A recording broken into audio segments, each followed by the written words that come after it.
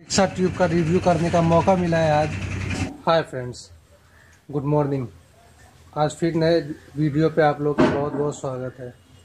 आज काफ़ी दिन के बाद एक रिव्यू करने का मौका मिला है कोई सामान का। इतने दिन से रिव्यू नहीं आ रहा था। मैं कहीं घूमने गया हुआ था। उसका वीडियो आपको मेरे चैनल पे मिल गया होगा। तो इसलिए अनबॉक्सिंग का वीडियो या कोई चीज़ का रिव्यू का वीडियो नहीं आ रहा था। उम्मीद करता हूँ आगे से जल्दी जल्दी रिव्यू का वीडियो आप तक पहुँचा सकूँ। काफ़ी सर्दी भी है। इस वजह से भी जल्दी वीडियो नहीं आ पाती है। मौसम ख़राब रहता है। सर्दी का भी टाइम चल रहा है और तबीयत भी सही नहीं रहता है। तो इस इस वजह से। तो चलिए पहले रिव्यू कर लेते हैं क्या चीज़ का रिव्यू नहीं है। उसके बाद आगे बातें करते हैं। तो चलिए इस वीडियो को शुरू करते हैं। इस चैनल पे जो है, इस चैनल को सब्सक्राइब कर लें और इस वीडियो को लाइक कर दें ताकि आने वाले हर वीडियो सबसे पहले आप तक पहुँच सके। तो जैसा कि आप देख रहे हैं, ये ट्यूब है। दोनों ट्यूब है। रिक्शा ट्यूब का रिव्यू करने का मौका मिला है आज। आज मैं इन दोनों ट्यूब का रिव्यू करना चाहता हूँ। कौन सा बेहतर है? मतलब कौन सा ख़राब नहीं है, कोई भी ख़राब नहीं है, मैं इस सामान को आप तक पहुंचाना सब चाहता हूँ। रिक्शा के लिए, साइकिल के लिए, किसी के लिए भी ले तो बहुत ही बेहतर है दोनों ही। ये Speedway Mahan extra heavy duty moulded tube दोनों ही है, रिक्शा के लिए ही है दोनों। अगर साइकिल में लगाए तो फिर तो आप समझ सकते हैं, रिक्शा के लिए हैवी है तो साइकिल के लिए कितना हो सकता है, कितना बेहतरीन हो सकता है। इन दोनों ट्यूब का का प्राइस सेम है। इन दोनों ट्यूब का काम भी सेम है। ये ट्यूब आता है पन्नी के अंदर। फ़र्क यही है और ये ट्यूब आता है डब्बे के अंदर।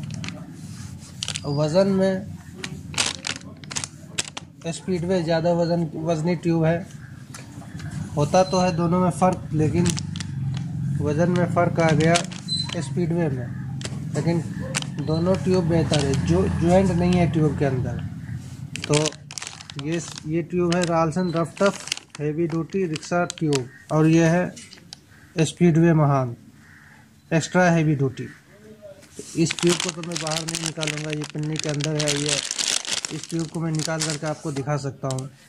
तो चलिए मैं इसको पहले निकाल लेता हूँ अनबॉक्सिंग कर लेता हूँ इसकी।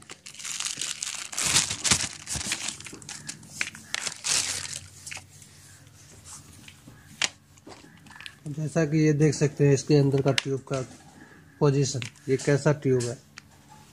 इसमें जॉइंट नहीं मिलता ये मोल्डेड ट्यूब का यही खासियत है कि इस ट्यूब के अंदर गोलाई में ज्वाइंट नहीं होता है। मैं दिखा रहा हूँ आपको।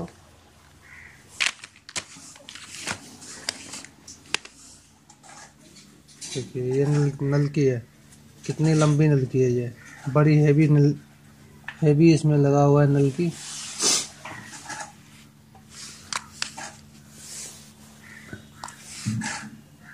चलिए इस वीडियो में कि आपने अभी देखा रिक्शा ठेला में लगाने लगाई जाने वाली सबसे हेवी क्वालिटी का ट्यूब का रिव्यू दोनों ट्यूब में कोई फ़र्क नहीं है कोई अंतर नहीं है। दोनों ट्यूब का रेट बिल्कुल सेम है। दोनों ट्यूब रेट में मार्केट के अंदर उपलब्ध है। एक रालसन रफ्टफ एक स्पीडवे महान एक्स्ट्रा हैवी डोटी इन दोनों का प्राइस मैं डिस्क्रिप्शन में दे दूँगा। आप अगर कहीं भी ले तो इन रिक्शा के लिए ये दोनों ट्यूब बहुत ही हैवी माना गया है। अगली वीडियो में हो सकेगा तो मैं साइकिल ट्यूब का रिव्यू करूँगा। अगर इस वीडियो का आप फेसबुक पेज पे देख रहे हैं तो मेरे फेसबुक पेज को लाइक कर दें।